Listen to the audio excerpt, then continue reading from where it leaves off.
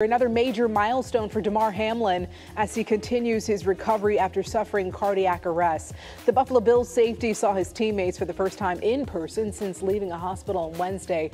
ESPN, they posted a photo of the 24-year-old smiling and talking to fellow players. Monday will mark two weeks since he collapsed on the field during that game. Today in a wild card game, the Bills take on the Miami Dolphins.